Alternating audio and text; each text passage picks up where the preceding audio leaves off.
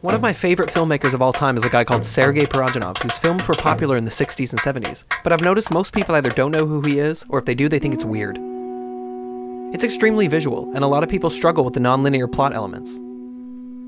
But I find the visuals to be breathtaking, some of the most impressive I've ever seen on screen. His style is extremely distinct, but it has been imitated by other filmmakers more recently. But I'll talk about that later. Now, before I tell you about the actual person, I want to show you a short sample of his work, so you can see what a romantic visionary he was, and also a ballsy madman.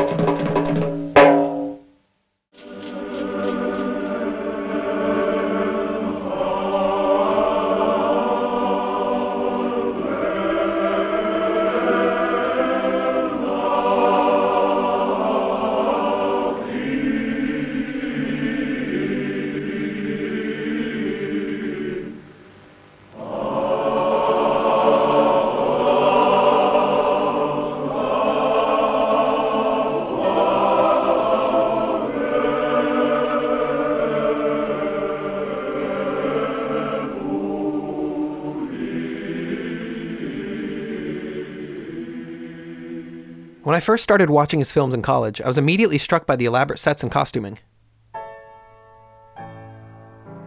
Every prop is an art piece in and of itself. Everything on screen has a very specific meaning, and the attention to detail is insane. He had a unique use of motion and stillness, and he was making things look like they were in a dollhouse way before Wes Anderson.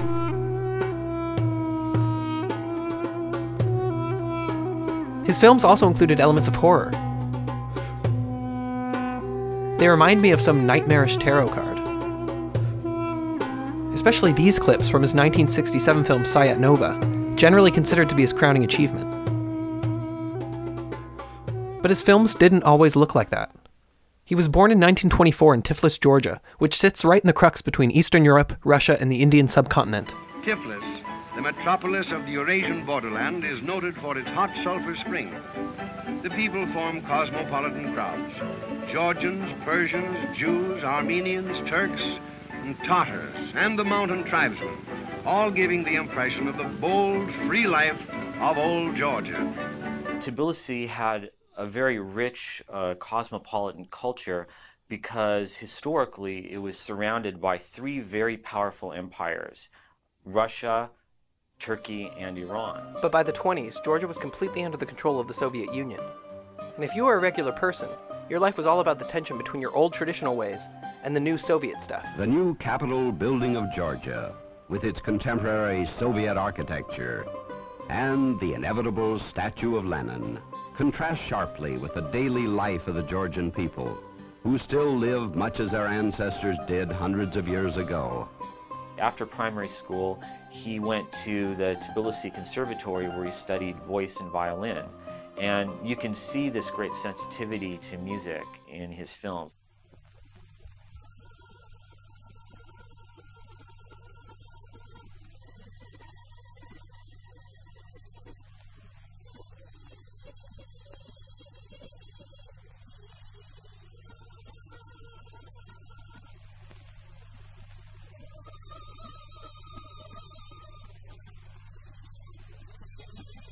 I think also his knowledge of music helped him think about film in a different way, as film as a kind of musical structure.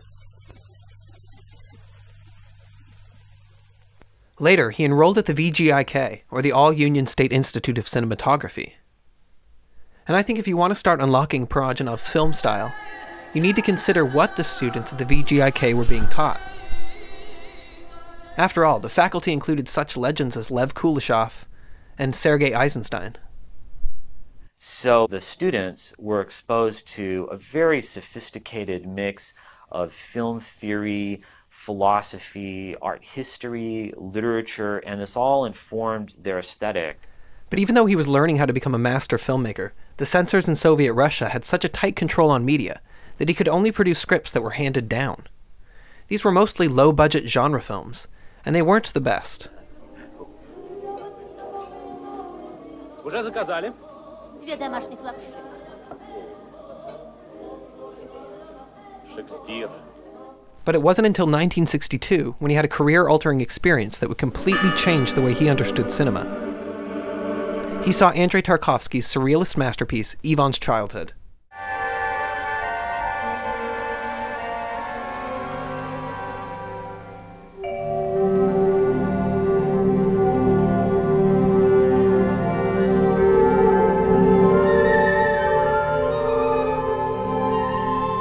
So moved, he actually renounced all of his previous films, and from that point on, he began tapping into things like his own spirituality, his ethnic surroundings, and the avant garde. His next film was a major game changer.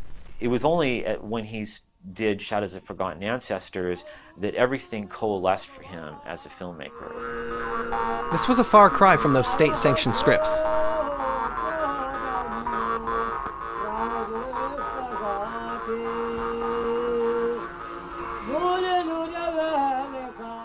Obviously, the Russian censors weren't happy, and Parajanov started gaining a name for himself as a kind of political figurehead. This new style championed poetic surrealism over Soviet realism. He was also known as a bit of an eccentric. He had some pretty passionate stances on the directing process, and he was pretty outspoken. Э, Мне кажется, мне кажется, что режиссером надо родиться. Режиссера не выучишь даже в таком идеальном институте, как ГИК. But in spite of the negative Soviet response, Shadows of Our Forgotten Ancestors was a huge success for Parajanov, and it put his name on the map as one of the boldest new voices in world cinema. He met Vartanov, he befriended Andrei Tarkovsky, and the influence became mutual. It was then that he would start working on his most ambitious work to date.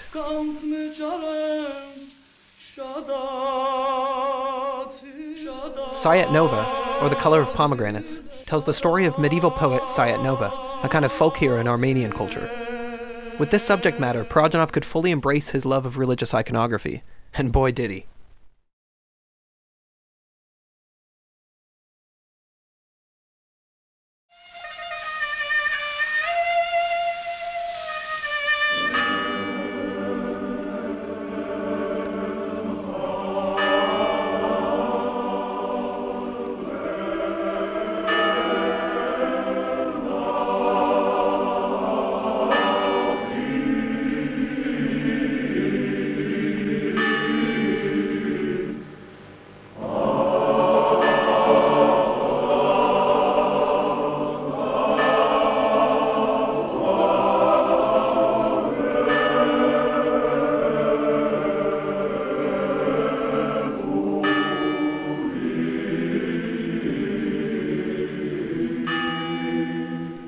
This movie changed my understanding of what cinema could be, and I'm not sure I've been quite as moved by another film since. Pomegranates was an even bigger success for Parajanov, and he began being known in the higher echelons of art cinema. He was being praised as a genius. Jean Luc Godard is quoted as saying, In the temple of cinema, there are images, light, and reality. Sergei Parajanov was the master of that temple. That's high praise. The film was even screened at Cannes, but despite its success, the Soviet authorities had had about enough of this guy.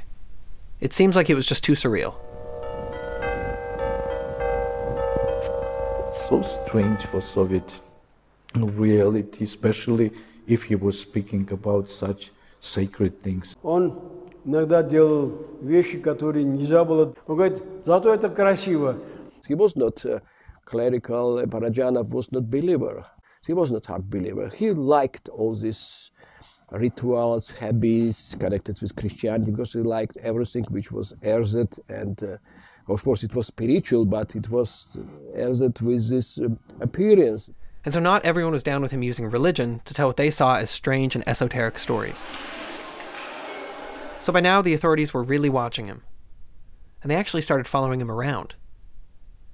They began trumping up charges of artifact peddling and homosexuality, which of course was illegal in the Eastern Bloc. And he says here um, the second director went on professional leave.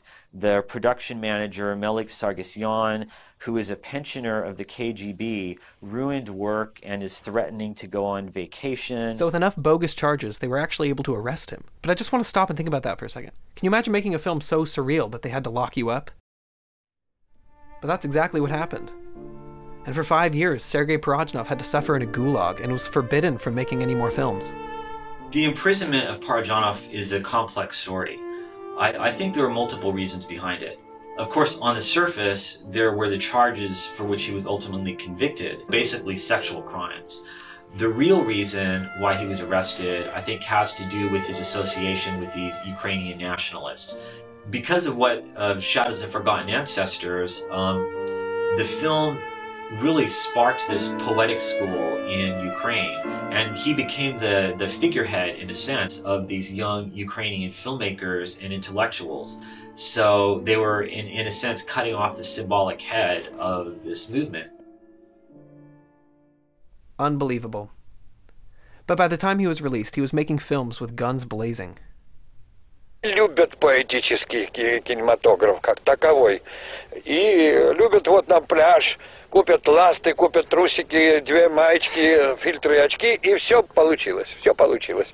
Поехали. А тут надо создать пластику, оружие, костюм, пейзаж, типаж актер. В фильме снимается еще вот блестящая лошадь, безумной красоты, сатрап. Пехи, пехи там уже. А там вообще, а там вообще. А, вот вам, пожалуйста. After his release, and after 15 years of Soviet decline, he was finally able to start making his breathtaking films again. He shot Legends of the Suram Fortress in 1985, and Ashik Kerib in 1988, both based on old ancient folktales, and both displaying a unique form of cinematic mesmerism. He again exhibits his love of using large groups of animals, as well as practical effects.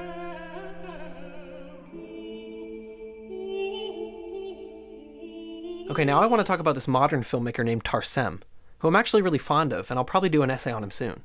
He's made a number of semi successful Hollywood films, and I actually really like his visual style. When he's not copying Parajanov. Here's what I'm talking about.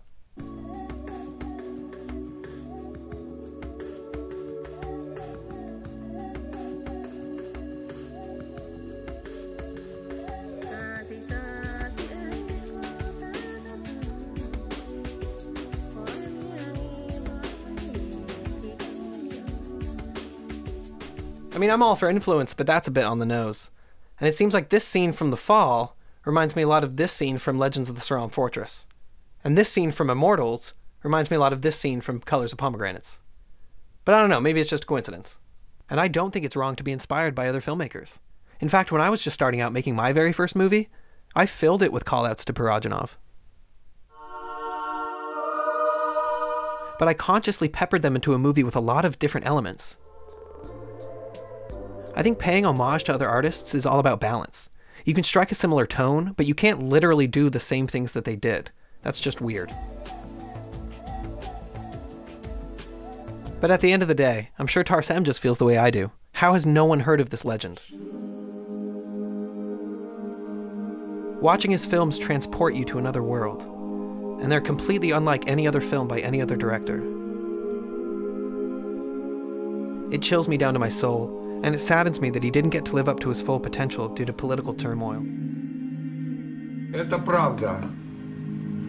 Но правда, вознесенная в образ печали, надежды или любви, красоты.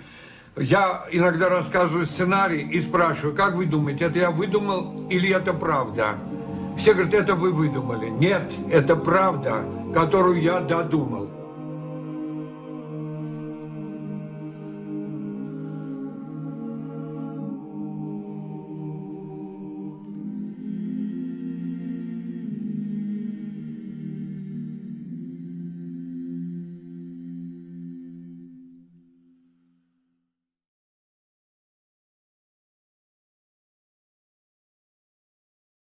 Thanks for watching.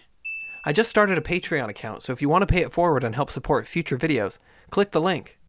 By the way, did you know that Sergei Parajanov has a museum dedicated just to him in the capital of Armenia? You can see his artwork and various displays. It's pretty cool. Thanks again for watching.